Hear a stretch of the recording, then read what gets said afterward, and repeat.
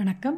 இந்த வீடியோவில் கஞ்சி மாவு எப்படி செய்கிறதுங்கிறத பார்க்கலாம் நான் வந்து இந்த கஞ்சி மாவுக்கு என்னென்ன இன்க்ரீடியன்ட்ஸ் ஆட் பண்ணியிருக்கேன் அப்படிங்கிறத சொல்கிறேன் பார்த்தீங்கன்னா இந்த கப் அளவுக்கு தான் நான் எடுத்துட்டுருக்கேன் இது வந்து டூ ஹண்ட்ரட் கிராம்ஸ் வருது.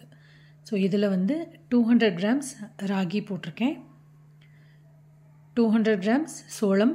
இது வந்து நம்ம பாப்கார்ன் பண்ணுவோம் இல்லையா அந்த சோளம் ஆட் பண்ணியிருக்கேன் டூ ஹண்ட்ரட் கிராம்ஸ் கம்பு. இந்த அளவுக்கு அதாவது ஃபிஃப்டி கிராம்ஸ் அளவுக்கு பச்சை பயிறு ஃபிஃப்டி கிராம்ஸ் அளவுக்கு கருப்பு கவனி அரிசி டூ ஹண்ட்ரட் கிராம்ஸ் அளவுக்கு ஜோவர் அதாவது சோளம் ரொட்டிக்கு நம்ம வந்து அரைச்சிப்போம் இல்லையா? சின்ன சோளம் அது.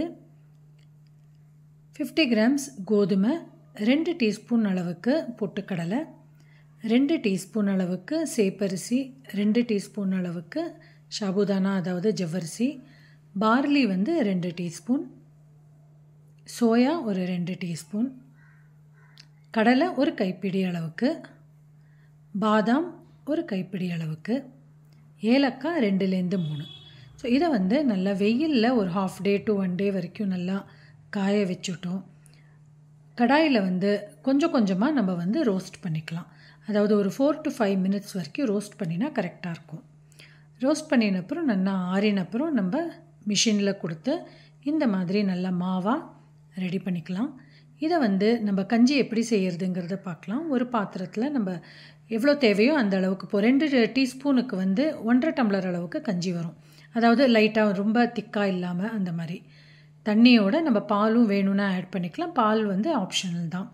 இது நல்லா கொதிச்சப்புறம் நம்ம நாட்டு சர்க்கரை போட்டு நம்ம வந்து கஞ்சி குடிச்சுட்டா ரொம்ப நல்லாயிருக்கும். இதே மாவில் நம்ம வந்து மோர் கஞ்சி பண்ணலாம். அதே மாதிரி உருண்டை பண்ணுறதுக்கு ரொம்ப நல்லாயிருக்கும். அதாவது நெய்யும் நாட்டு சர்க்கரை முந்திரி பருப்பு எல்லாம் வறுத்து ஆட் பண்ணி நம்ம வந்து உருண்டை பிடிச்சோன்னா ரொம்ப சூப்பராக இருக்கும்.